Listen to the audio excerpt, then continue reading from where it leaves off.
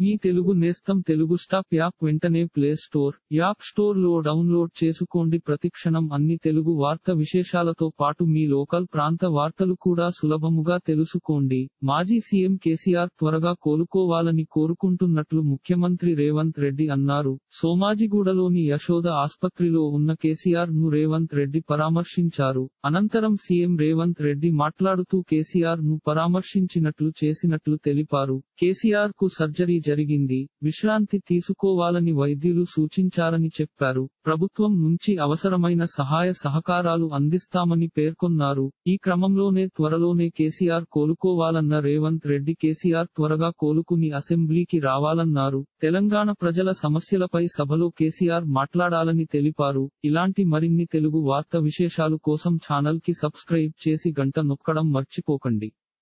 ఈ వీడియోని తోటి మిత్రులకి షేర్ చేయండి. మీ అభిప్రాయాన్ని కామెంట్లో తెలపండి.